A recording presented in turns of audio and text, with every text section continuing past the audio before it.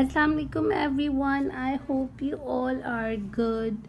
So today's subject is English and the day is day 2. So today we're gonna talk about a new letter.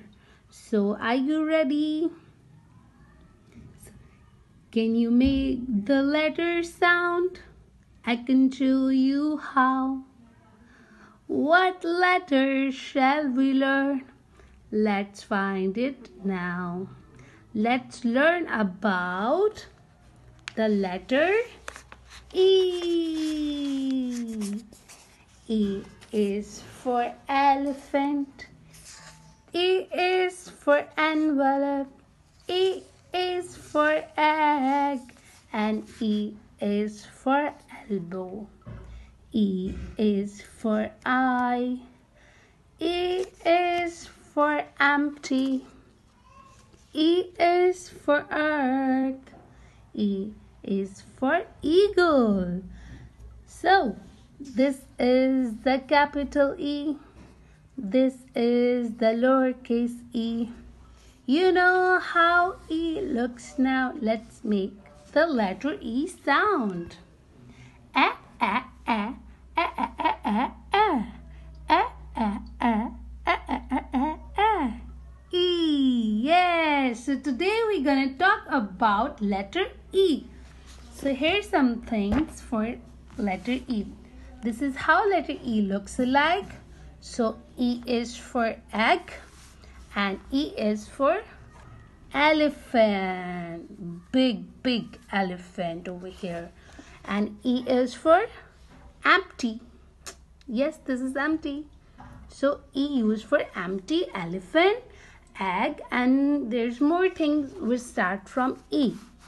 So now we learn how to write letter E. Yes. So here we go.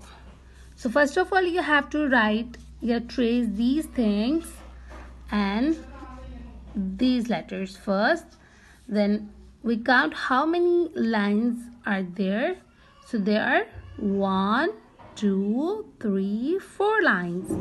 One, two, three, and four. Four lines. So capital E writing in the three lines. Straight line, sleepy line, and other sleepy line, and one more sleepy line. Three sleepy lines on the lines. Okay, this is the capital E. So how we can write the small e? So make a half circle, then a little circle and a slash line. Make sure you make a little circle over here, okay? Little circle over here. Again, capital E is straight line, sleepy line, another and one more.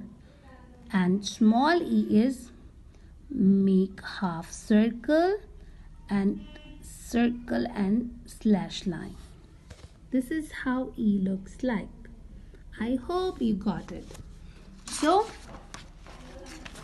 letter E. A, B, C, D, E. A, B, C, D, E. A apple, B ball, C cat, D dog, A elephant, A apple, B bag or the ball, cat, the dog or the door, a elephant, a egg. So this is letter E. I hope you got it and you find it interesting. So I will see you in the next one. Bye. Take care.